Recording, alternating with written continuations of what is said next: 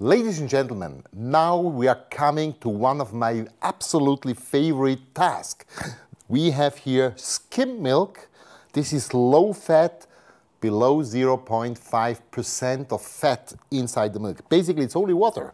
So we will do a nice cream out of it, but actually you have to remember the milk has to be very, very cold, almost frozen. What we need to do here to make this nice cream out of it, we use the aerator. So we'll put a lot of air inside with our Bamix and just go into the jug here go with low speed, start, one, two, three, angle it, and then slowly just lift it up. Up and down, very gently, very easy. You see? And it's starting to grow. Just imagine, this is only water with a taste of milk. This is called skim milk, and we'll do a nice cream here. Now we get already a nice consistency. So we go to the high speed to push a little bit more air inside. Look at this nice cream here, what we're creating. Absolutely great.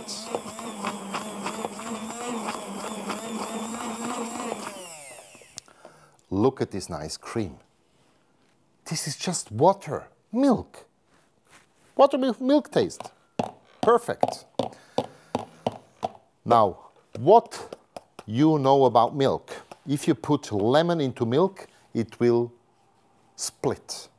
But we do differently because we have here a very nice consistency. So it's really stiff.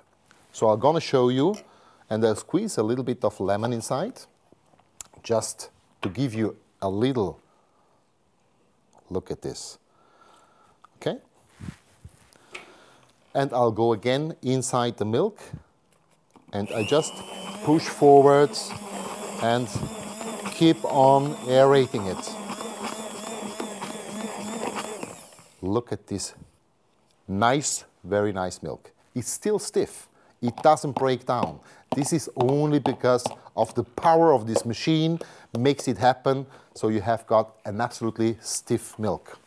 All right, milk cream give it a rinse, and the machine is cleaned again.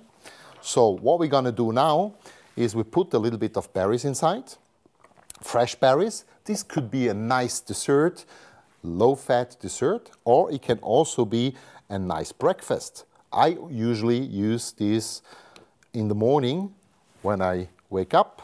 Just let me put a little bit of blueberries inside, which gives a nice color here. Okay. Perfect. All right. And then we just push it down.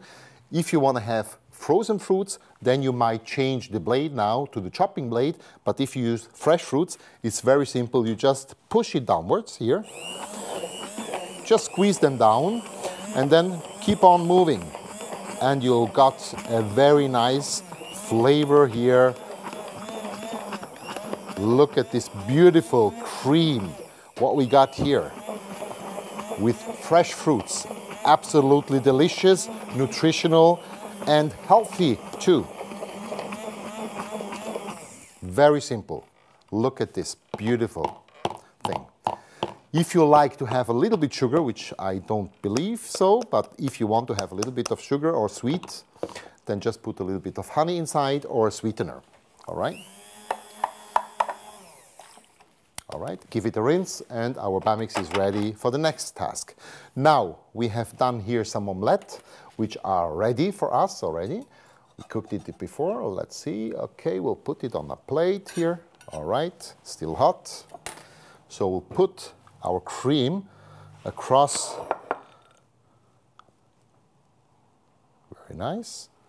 All right, and then we'll just close it like this and from the other side. All right.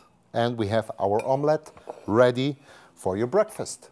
All right, so we have made some powder sugar here and just wanna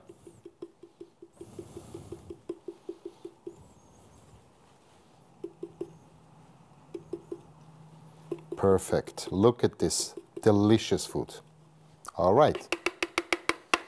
And we are ready. That's how it looks, our breakfast. It can be yours every single day.